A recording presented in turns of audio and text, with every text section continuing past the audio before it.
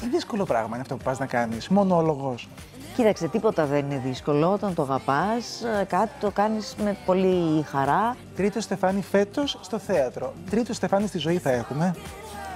Ε, κοίταξε να δεις, στη ζωή δεν αποκλείουμε τίποτα, γιατί η ζωή είναι πάντα γεμάτη εκπλήξεις, ανατροπές, οπότε Πότε ήταν η τελευταία φορά που σου έγινε πρόταση γάμου. ε, νομίζω τη φορά που παντρεύτηκα. Α, εκ τότε ξανά ποτέ. ε, δεν νομίζω, όχι. Γιατί θέλω να πω, είχες κάνει και σχέσεις. Τώρα και πριν από ένα χρόνο ήσουν, είχες κάνει και μια επανασύνδεση. θα εντάξει. περίμενε κανείς ότι. Ναι, θα περίμενε κανείς ό,τι, αλλά εντάξει, τώρα δεν, όχι, πρόταση, πρόταση, κανονική, όχι, δεν. Είσαι ερωτευμένη; Είμαι καλά. Αυτό θα πει ότι είσαι ερωτευμένη. Δεν ξέρω πώς τα εκλαμβάνεις και δεν θέλω να το συζητήσουμε και περισσότερο. Απλά σου λέω ότι είμαι καλά. Εγώ κάτι ξέρω. Κάτι έχουν πάρει τα αυτιά μου για έτσι άνθρωπο του χώρου, να το πω και έτσι. Ναι, Ναι, ναι, αλήθεια. ναι. Τι να σου πω. Είναι καλές οι πληροφορίες μου ή είναι. Δεν ξέρω, θα δείξει. I used to be. Δουλεύοντας τα τελευταία 10 χρόνια μόνο στο θέατρο, δυσκολεύτηκες οικονομικά σε σημείο ας πούμε, να πεις ότι δεν έχω να πληρώσω τον νίκη μου. Δεν έφτασα σε αυτό ακριβώς το σημείο, αλλά λίγο στο παραπριν έφτασα.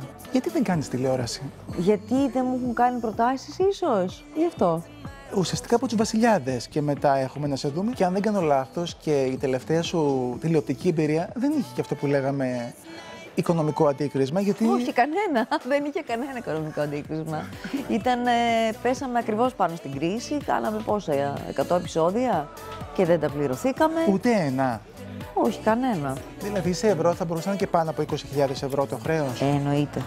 Πλάκα μου κάνεις. Ε, τώρα όταν σου λέω 100 επεισόδια, βέβαια. Ισχύει αυτό που είχε πει ο Απόστολο Γκλέτσος, ότι κάποτε εσείς οι ηθοποιοί, οι πρωταγωνιστές, παίρνατε 10.000 ευρώ για το επεισόδιο; Ναι, ισχύει. Προσωπικά εγώ δεν το έχω πάρει και δεν το έχω καν να ζητήσει, γιατί θεωρούσα πάντα ότι τα 10.000 είναι too much. Ε, έχω πάρει λίγο πιο κάτω. 7, ας πούμε, 6. Ναι. Γιατί έφυγες στον δεύτερο κύκλο των δύο ξένων; Έφυγα γιατί μου είχε γίνει πρόταση να πάω στις επιθυμίες στον Αντένα, που ήταν ένας υπέροχος ρόλος και ήταν τελείως διαφορετικό από τους δύο ξένους. Ήταν κατά τι πιο πρωταγωνιστικός, ξέρεις, το οποίο εντάξει το βρήκα για εκείνη τη στιγμή τουλάχιστον α, καλό βήμα για την καριέρα μου και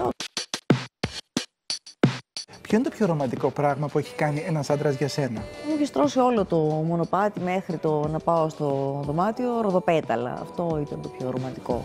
Ο νεότερος άντρας που σε έχει φλερτάρει ποτέ, πόσο μπορεί να ήταν, ενώ σε διαφορά ηλικίας; Ήταν 19 χρονών.